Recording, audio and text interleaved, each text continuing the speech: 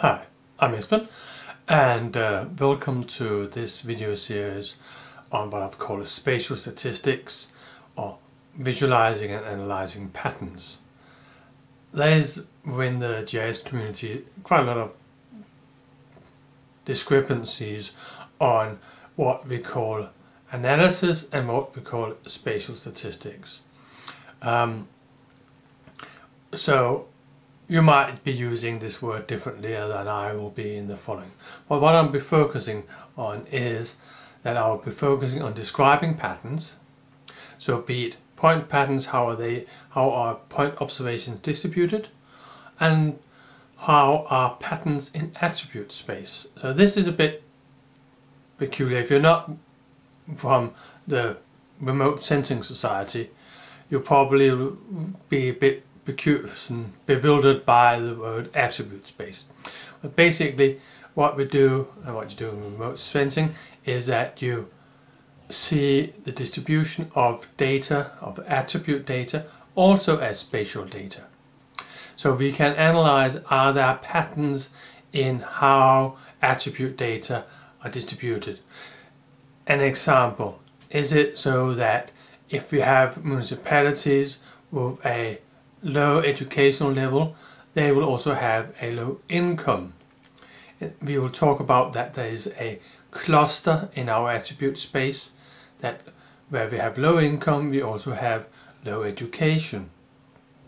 So that's what we talk about when we talk about patterns in attribute space. We talk about correlations between different types of attributes but they are not correlations in standard but they are situations where there are common observation types or common values.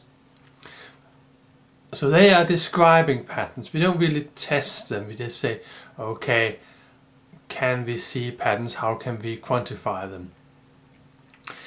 Then we have another section where we'll be testing patterns. We'll be using inferential statistics.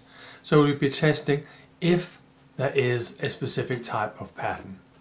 In general, we will always test against the concept of total spatial randomness, that observations are completely randomly placed in space.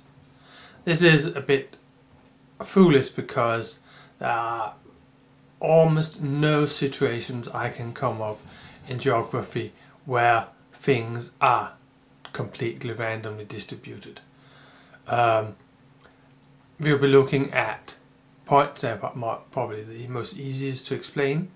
We'll see, Here are goldsmiths randomly distributed throughout the city of Copenhagen? Well, first of all, Copenhagen consists of a shape where we have a large element of a harbour in it and they can't be located outside in the water. They will have to be on land. Goldsmiths are typically shops. They will typically need to be in a building.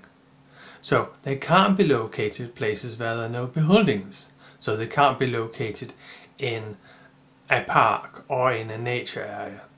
So the test for randomness is in one way relatively silly because nah, there's not really much out there in real life that is random there is some ordering in it. Um, and we will then be talking about how we can compare different patterns to each other.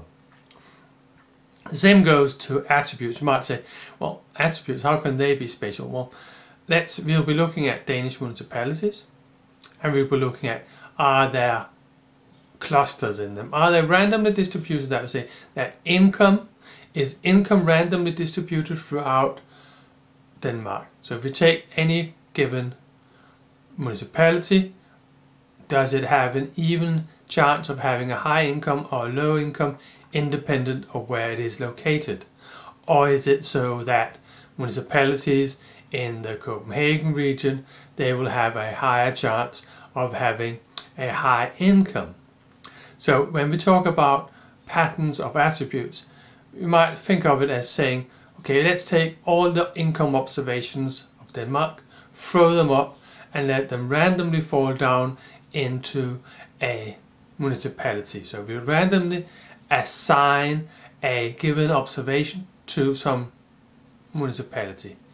And compare to that, is it then so that we find patterns? Is it so that we find clusters of high income and clusters of low income? And that's some of those tests we will be looking at. So the topics we'll be covering in general, patterns, we'll be talking about point patterns, and we'll talk about patterns of attributes. We'll be talking about describing them, and we'll be talking about tools for doing inferential statistics where we compare to what we call a null hypothesis. We'll say, are they randomly distributed? And how far from randomly distributed are they? Because, as I mentioned, there's not really very many things in society that are randomly distributed.